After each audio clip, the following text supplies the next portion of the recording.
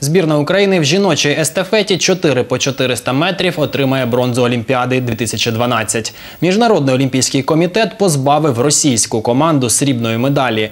Відтак, друге місце того забігу дісталось ямайським атлеткам, які були третіми. Українки тоді фінішували четвертими. Несподівано для себе олімпійськими призерками стали Аліна Логвиненко, Ольга Земляк, Наталія Пигида і дніпрянка Ганна Рижукова. Ось як Ганна, яка тоді виступала під дівочим прізвищем Ярощук, прокоментувала радісну звістку.